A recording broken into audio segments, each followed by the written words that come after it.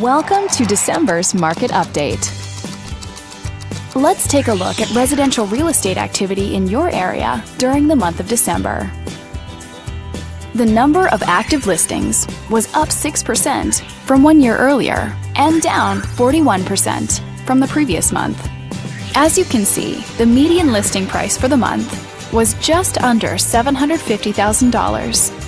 Compared to last year, the average number of days that units spent on the market before being sold was down 16%. The median sale price was just under $740,000. The number of units sold increased 13% year over year and decreased 5% month over month.